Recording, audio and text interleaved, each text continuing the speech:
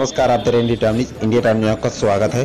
Breaking news Jalaun Jalaun में चल रहे चौथे चरण की पोलिंग चल रही है, जहाँ प्रदेश सरकार के परिवहन मंत्री स्वतंत्र देव सिंह ने पहुंचकर मतदान किया। बता दें कि परिवहन मंत्री स्वतंत्र देव सिंह का गृह जनपद जालौन है। जालौन के मुख्यालय उरई में उनका निवास स्थान है, जहाँ से वह वोटर है। परिवहन मंत्री ने अपने पोलिंग बूथ पर पहुंचकर मतदान किया।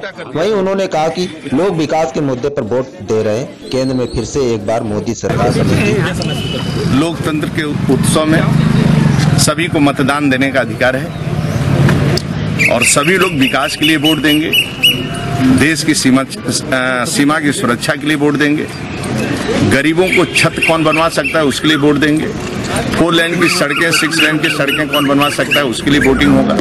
इसलिए देश पूरा माननीय मोदी जी के पीछे खड़ा है और एक मतदान जो भी लोग देंगे वो सीधे मोदी जी के खाते में जाएगा।